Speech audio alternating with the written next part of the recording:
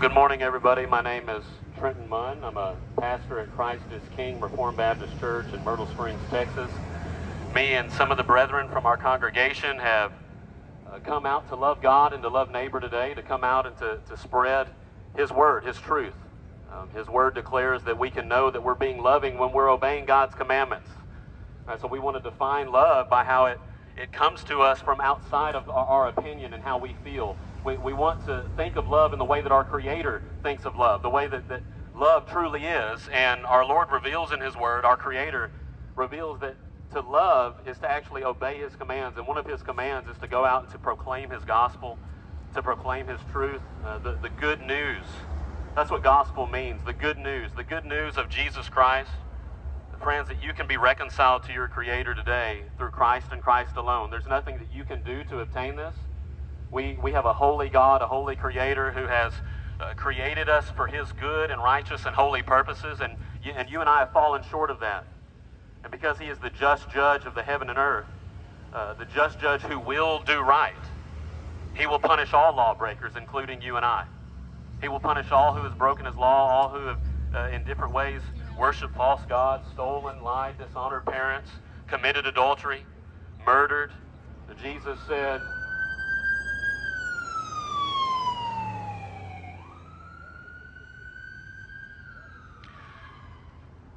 Jesus said, You know, the commandment says you shall not commit adultery, but if you've looked after another with lustful intent, you have committed adultery with that person in your heart. And so, though you may not have physically committed adultery, friend, if you've ever lusted after someone, uh, looked at improper images on your phone or computer screen, you, you have broken the commandment of committing adultery. You have committed immorality in your mind. Friends, I would remind you that, that God judges not just for what we physically do, but for even how we think. He, he will judge our thoughts in accordance with Christ Jesus and his righteousness on that day when the Lord Jesus returns. We, will be judged in accordance with his law, and you and I have drastically fallen short. And the only way that you and I can be reconciled to God is not by what we can do, because the only thing that we have done is obtain judgment. The wages of our sin, what we have earned because of our sin, is death, and the judgment of God, the eternal judgment of God for sinning against His, His eternal being, His eternal law. And so the only way we can be reconciled to Him again is not through ourselves. It's not from what we can do. It's not how good we are, because the Bible is very clear no one is good. No, not one. No one is righteous. They have no fear of God before their eyes. We, we all naturally want to follow the passions of our own body and our own mind. We want to follow a way that seems right to us naturally instead of the way that our Lord and Creator has created us to follow the, the, the way, the truth, and the life. We've fallen short of that and, and pridefully and pridefully seeking our own ways. And the only way we can be reconciled to our God is through Christ and Christ alone. Christ Jesus, God the Son. Our Creator is, a, is, a, is triune God the Father, God the Son, God the Spirit. And God the Son entered into his own creation, lived a perfect life in word, thought, and deed for 33 somewhat years that you and I can't live for 33 milliseconds. He lived that perfect life in word, thought, and deed, and that took him to the cross where he voluntarily laid his life down for the sins of his people. Uh, for our sake, the scripture declares, for our sake, he became sin who knew no sin, so that in him we would become the righteousness of God. He was treated as a sinner and a lawbreaker, though he was not, so that we would be treated as righteous, though we are not. Though we have been sinners, though we have been lawbreakers. That, that is the good news. Friends, that is the glorious news. We can be made right with our God. We can be made right with our Creator today through His wisdom and through His steadfast love. Through His wisdom and through His steadfast love that He has given and shown in Christ Jesus to His people. We can be reconciled, you and I. The, the call is not uh, do better. The call is not uh, be good enough to be reconciled to God. The call, if this is true biblical Christianity, that, that's what sets true uh, true biblical Christianity over against every false religion in the world. Every false religion in the world is works based in some way. They say that you can be good enough to be made right with God. You can do these certain things, follow these certain steps, and you can obtain this yourself. That is false. That is a lie. The Bible declares that we're saved by grace through faith, and this is not our own doing. It is the gift of God. It's not of works, lest any man should boast. Friends, at the end of the day, it's not good people that go to heaven and bad people that go to hell. It's bad people that go to hell and bad forgiven people who've been clothed in the righteousness of Christ that go to heaven. They're not going to be in the presence of God. Anyone who enters into the consummate kingdom of God in heaven is not going to be boasting in what they did to get there. They're not going to be boasting in themselves. Look at how good I was. Look at how strong I was. Look at how wonderful I was to get myself to heaven, to get myself reconciled to God. No person in, in the consummate kingdom of God in heaven is going to ever boast in themselves. They're going to be forever boasting in Christ Jesus. They're going to be forever boasting in He who sufficiently accomplished their salvation in and of Himself. He who lived the life, the righteous life they could never live. He who died the death that we all deserve because of our sin and gloriously rose from the dead on the third day, ever living to save all who draw near to Him, uh, draw, all who draw near to God through Him to the uttermost. Ever living to save sufficient to save, Christ Jesus. Sufficient to save, sufficient to bring you to God. Uh, 1 Peter 3.18 says that Christ Jesus laid down his life once for sins. The righteous for the unrighteous. The perfect, eternal, righteous one. Clothed in flesh. The only righteous man to ever live in word, thought, and deed. He laid his life down once for sins. The righteous for the unrighteous that we would be brought to God. You can be sufficiently brought to your Creator, reconciled to your Creator, to know Him in true life and true joy through Christ and Christ alone. Apart from that, there is not true joy. Apart from that, there is not true life. You, you, you uh, apart from Christ, apart from finding your all in your Creator, you will never truly joy creation as your Creator has intended you to, because you're, you will continual, continually in your life seek to find your all and find your contentment and satisfaction in creation alone. And friends, creation will not do that. These things around us will not do that. People will fail you.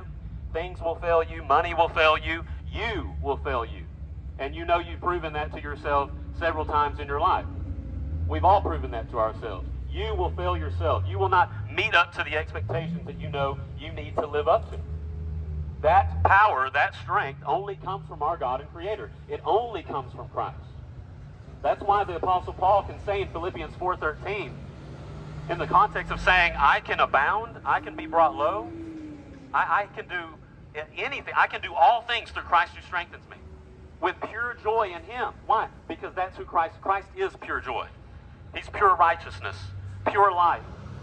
He is the bread of life. Whoever comes to him will not hunger. Whoever believes in him will never thirst. Whoever comes to him as, as the light of the world, he will not walk in darkness, but he will have the light of life. That, that is the message. And Christ Jesus changes your heart. It's not as you see from many today who profess to be Christian, yet do not seek to follow his commands. Because a true Christian wants to follow the commands of Christ. They want to follow what he says in his word. Jesus says in John 14, 15, if you love me, you will keep my commandments. If you love me, you will keep my commandments. Do you profess to love Christ, but you don't seek to keep his commandments? You see the contradiction there? That's many in our day. That was me for 27 years uh, of my life before I was truly converted. I, I would say I was a Christian. I went to church. I prayed a prayer one time. I walked an aisle, got baptized. Hey, I even got the little uh, Gideon Bible on my desk at home, uh, where on the back it has the date of whenever I prayed the prayer. Yeah, but I, I wasn't converted. Why? Because my heart wasn't changed. Not only does Christ reconcile us to God, but friends, in doing so, in doing so, he changes our heart. And being reconciled to God, we now have a new heart that wants to live the way that our God would have us live and hates the sin that we used to love. If we love Christ truly and we have been converted, we will keep his commandments. 1 John 2 4 says, Whoever I know uh, whoever says I know him truly knows God. Whoever says I know him but does not keep his commandments is a liar, and the truth is not in him. Friends, the Bible talks about those who would make false professions. Jesus talked about this in the parable of the sower. There was a man who went and sowed seed. Some of the seed fell on the wayside. The birds ate it up.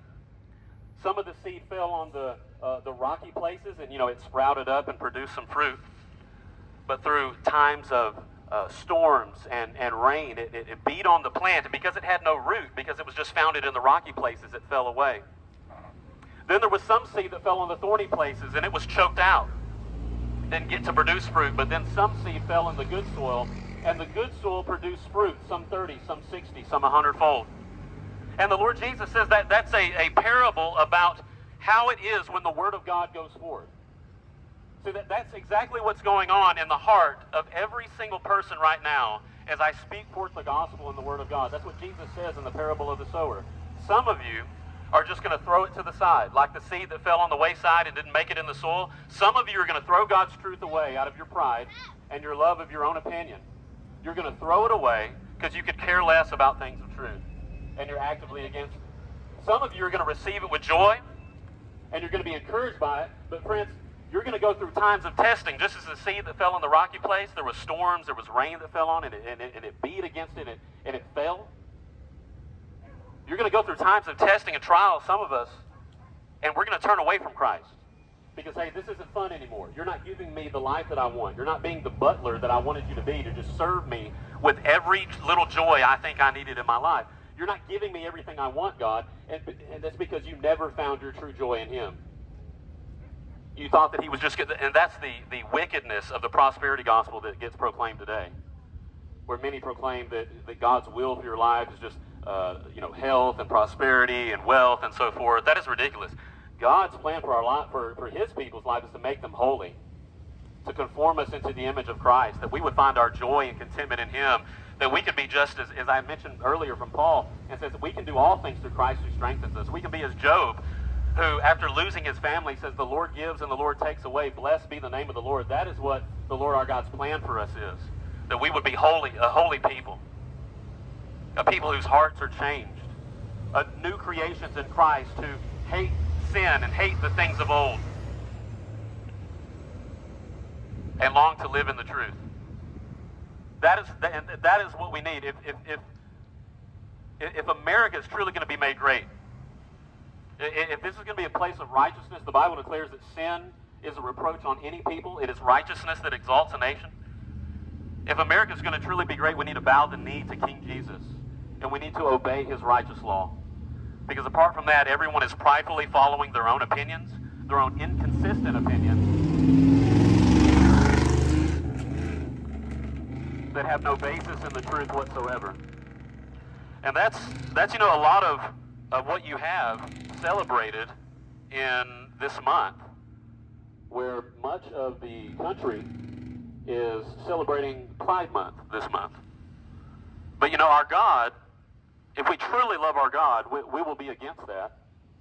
If we truly love our God, we, we will reject a month that wants to be celebrated for pride because our, our God, our, our Creator, specifically brings out in His Word that He hates pride. He hates pride. Isaiah 66, verse 1 to 2.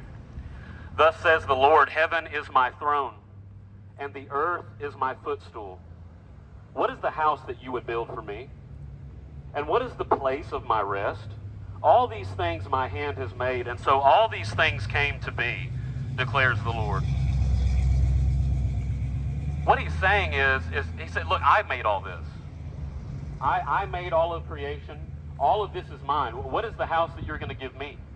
Uh, all these things my hand has made, and so all these things came to be. What are you going to give me that's not already mine? He owns the cattle on a thousand hill. He owns all things. He's perfect. He doesn't need us. He was perfect in and, of, in and of himself in loving eternal relationship between God the Father, Son, and Spirit. He, he doesn't need us. He creates us for his glory, that we would delight in him properly in his glory in Christ. And, and so, but, but after that, he says, But this is the one to whom I will look. This is the one to whom I'll look with favor.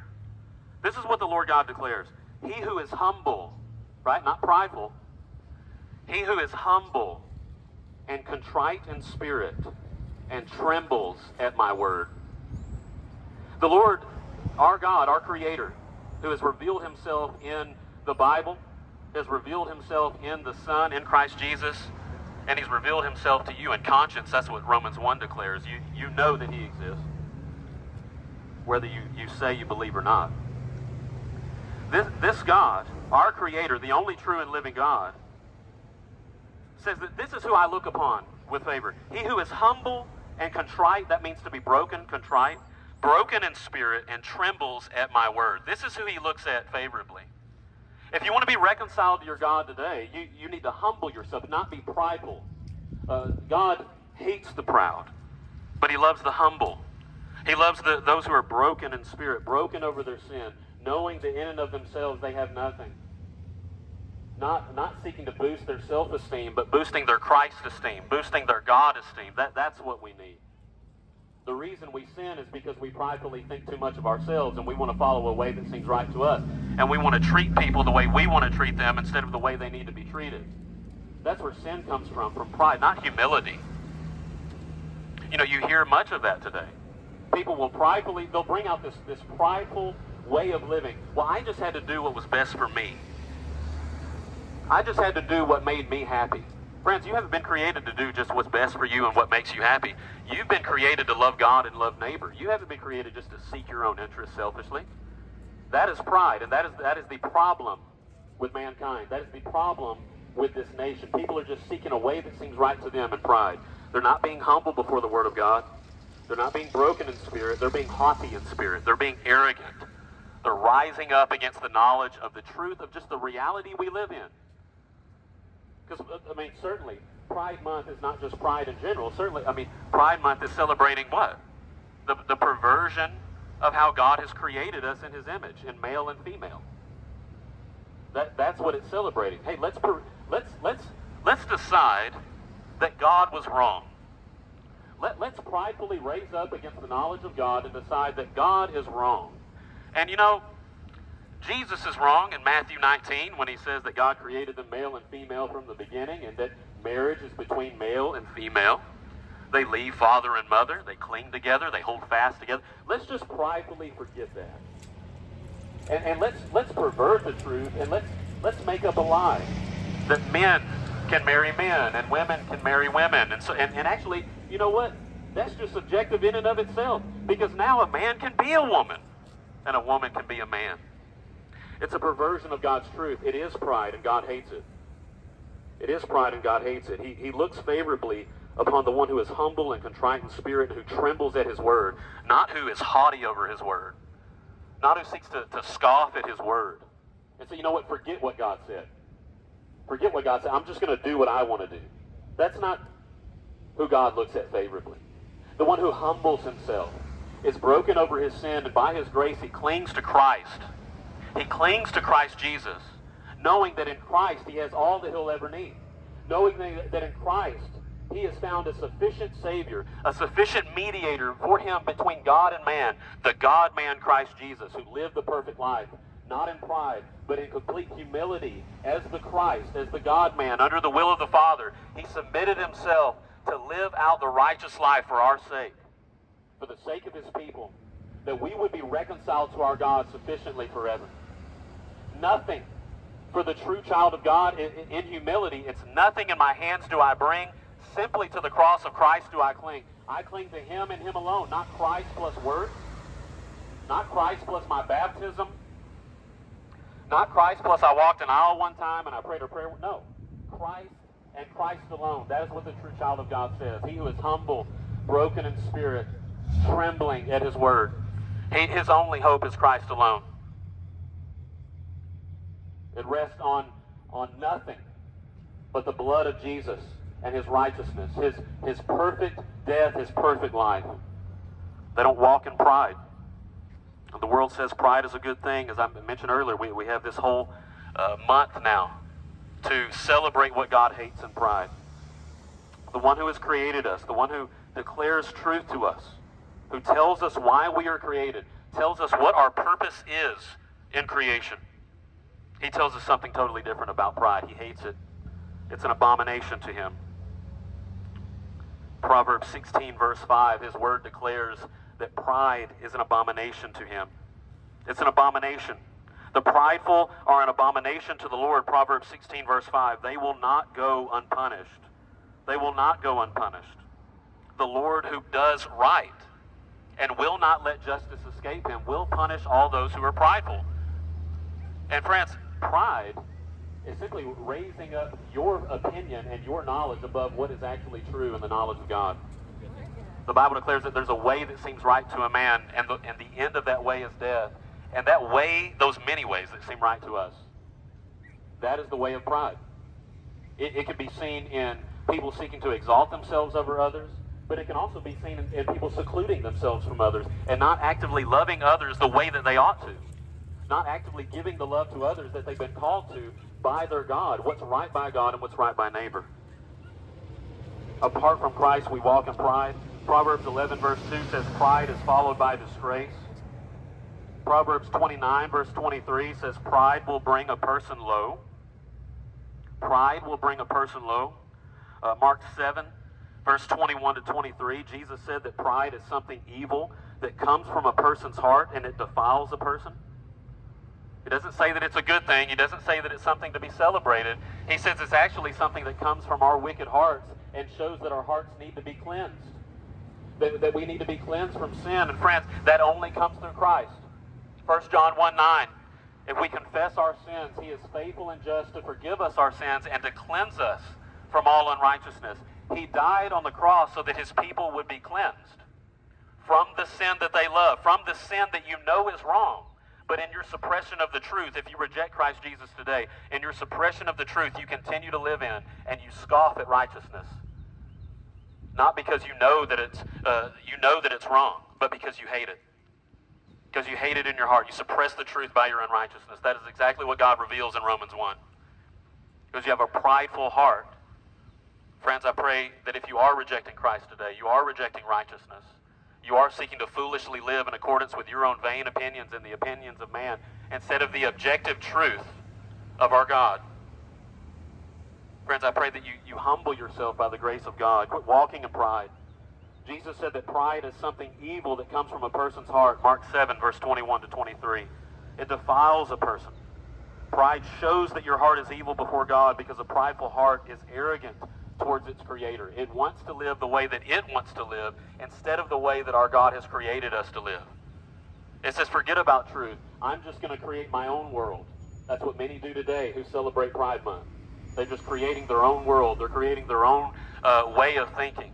And it's a way of destruction. It's a way of destruction towards neighbor as well, which is why this country is in the state that it is in today. So many people seeking to follow a way that seems right to them in the pride of their face and wickedness instead of just purely seeking to love neighbor and, and loving one another in the truth. As our God has called us to, as, as really the founding fathers of our nation would have us to, in, in serving our triune God. Proverbs 21, verse 24 says that scoffer is the name of the arrogant, haughty man who acts with arrogant pride. Pride is evil. It's arrogance toward God. It, it raises itself up against God and his knowledge. And that is why God is opposed to prideful people. The Bible says very clear. The Bible says very clear in James chapter 4 verse 6 that God is opposed to the proud. Right? The, the proud makes themselves enemies of God. God bless her. God is opposed to the proud, it says, but he gives grace to the humble. Again, who does he look towards with favor? Those who are humble, Isaiah 66, verse 1 and 2. Those who are humble, those who are contrite and broken in spirit, and those who tremble at his word. He is opposed to the proud. James chapter 4, verse 6. God is opposed to the proud. He gives grace to the humble. Those who humble themselves underneath his truth, submit themselves to follow his truth, not just their own opinions and, and their own imaginations about how life should be lived, just in a way that seems right to them. Proverbs 16, verse 18 says that pride goes before destruction. Pride goes before destruction. To reject God goes before destruction. Certainly eternal destruction uh, in, in hell. Yes, the, the Bible does speak of hell. God does punish as a just judge. He does punish those uh, who break his law and are not reconciled to him. Pride leads to eternal destruction under the wrath of God. For, for those who will not turn from their sin, who will not turn from their pride and humble themselves before Him to be reconciled purely in Christ Jesus, God, out of His great love, God, out of His great love, has sent the Son. God so loved the world that He gave His only Son, that whoever believes in Him will not perish, but will have everlasting life. Friends, you can turn from your pride today and have eternal life. You can be reconciled to your God in Christ. You don't have to continue to walk in pride, seeking to walk and, and live your life out in foolish ways, uh, not truly seeking to love your Creator, not truly seeking to love neighbor, but just wanting to live uh, in, out of love for yourself, which is a prideful way of living, however you look at it. Because you're seeking to say to your Creator, "I don't need you. I can I can do this on my own." And friends, you can't. You're gonna if you don't if you don't find that out now, by the grace of God, you will find that out later at His judgment. And I pray by His grace you find that out now. Because pride only leads to destruction. Think about your life and trusting in yourself. How many times it's led to destruction in your life? How many relationships are destroyed today because of pride? People just loving themselves and using others. How how flippant do we use the word love today? Pride. God bless you, ma'am. How flippant do we use the word love today? A, a man, a young man will meet a, a young woman, and you know she's very pretty. Uh, she, the conversation is good, and so forth and so forth. And he thinks he he loves her. But but you realize if it's if all it is is just coming from that, she looks this way, she she makes me feel this way in our conversation. You, you realize that's just selfishness. That's just pride. That's just that guy saying she does this for me, and so I love her because she does this for me. That's pride. Because what happens, and this is what happens in so many relationships today. What happens then? What happens when she doesn't look the same way 30 years later? What happens when the conversation ain't going as well? Right? And you're in an argument or something like that. What, what, is, what do people say today? Well, it, it, you're just not, it's just not working out. It's just not working out like it used to. Why? Because you've been seeking this whole relationship in the pride of your face. In the pride of your face, seeking to use that other person for your selfish desires. And when you're not getting them, you want to be God of your life and say, you know what? Now you're out of my life. I'll find someone else who will meet my desires. That's why so many relationships break down today. You're not truly seeking to just devote yourself to that person in truth. You're seeking to use that person for what you can get out of them. And when you don't get it, well, you try to be God of your life and they feel your wrath and they're gone. I'll find someone else. Pride is a deadly thing, friends. We shouldn't celebrate pride. Let me tell you something. We will never, America will never be great if we have a month that celebrates what God hates. America will never be great. I don't care who you vote for. America will never be great if we if we have a month that celebrate what God hates. God hates pride. He does not look upon the prideful with favor. He does not look upon people who are okay with pride with favor. I don't care if you profess to be a Christian or not. You're deceiving yourself. And you need to repent. If, if that's the way you're thinking in your mind, you need to repent and turn to Christ that times of refreshing may come from the Lord. Because times of refreshing can come, but it's only going to come in Christ.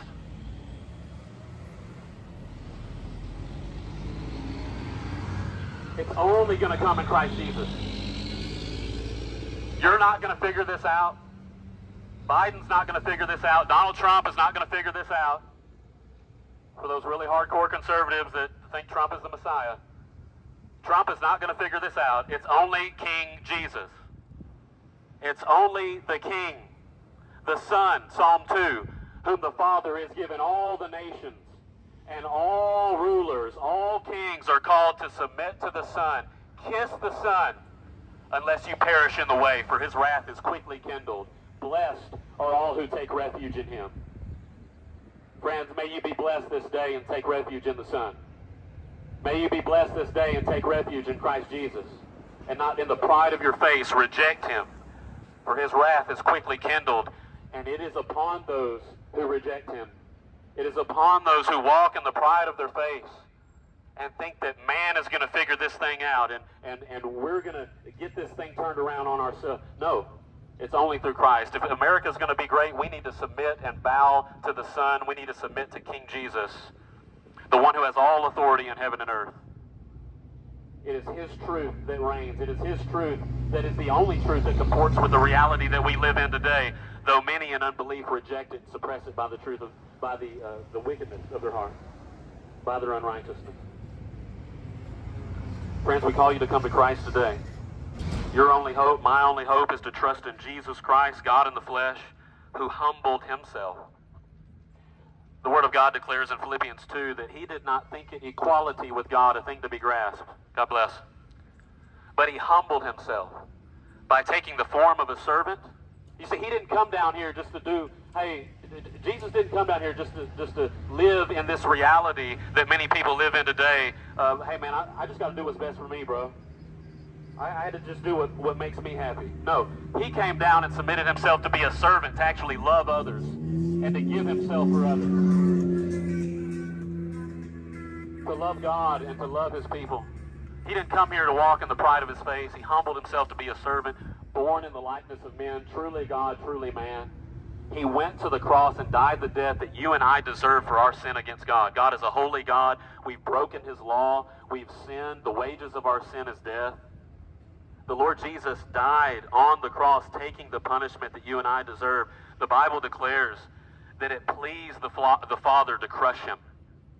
It, it, it was a pleasing sacrifice. God the Son, the God man, taking upon himself the sin of his people, dying as a wretched man, though he was not, for wretched people who through him would be treated as righteous men, though they're not.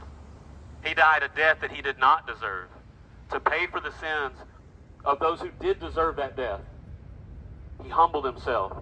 Therefore, in going to the cross, therefore, the Apostle Paul says in Philippians 2 that God has highly exalted him with the name that is above every name, so that at the name of Jesus every knee would bow and every tongue would confess that Jesus Christ is Lord to the glory of, of the Father. And friends, we call upon you by the grace of God to bow the knee to King Jesus today. Kiss the Son. Do not walk in the pride of your face. Humble yourself. Be contrite in spirit. Tremble at his truth and his word. And hear the good news that you can be reconciled to your Creator today.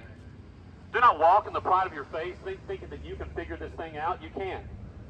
And if you were to be honest with yourself, you know you've proven that to yourself over and over again. How many times in your life have you let yourself down?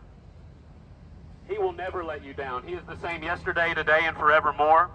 He is the God man, the righteous one the only mediator between God and man, humble yourself and come to Christ.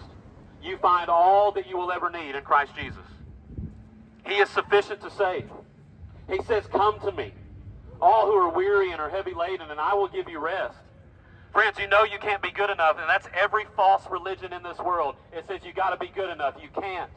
Come, all who are weary and heavy laden, tired of trying to be good, good enough, and you know you can't. Come. And he says, Take my yoke upon you and learn from me, for I'm gentle and lowly in heart. Friends, you find a, a, a beloved friend in Christ Jesus, the blessed Savior, Lord God Almighty, the all powerful one who will conquer your sinful heart. He will conquer your sinful heart. Sinners, come to Christ. He's all you need.